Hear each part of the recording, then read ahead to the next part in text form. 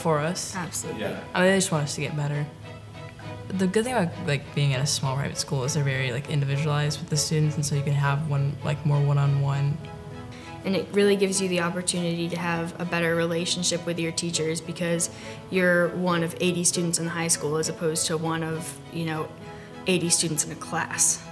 You have an individual relationship with each teacher, which is really nice.